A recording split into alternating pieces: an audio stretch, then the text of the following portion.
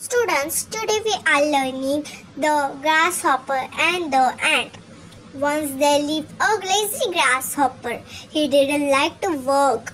All day long he sang songs and played in the warm sunshine. Hey, hey, look at me. I am as happy as can be. The grasshopper laughed at the hardworking ants as they worked day and night. We are storing grain for the long winter ahead, they replied.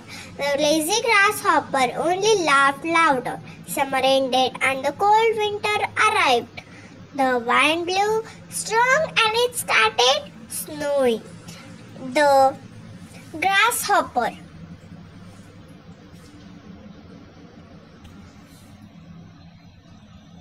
The grasshopper now began to worry. There is no food to eat, no grass, no flowers or leaves. I can't see even the tiniest fly or worm. Why, what will I do? I will surely starve, he cried. Let me meet my kind neighbor, the ant. The grasshopper remember how the hardworking ant stored away grain for the winter. He knocked at her door. Dear ant, I am hungry and cold.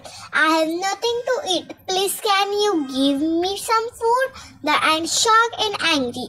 Lazy one, what were you doing all summer? You were only singing and dancing.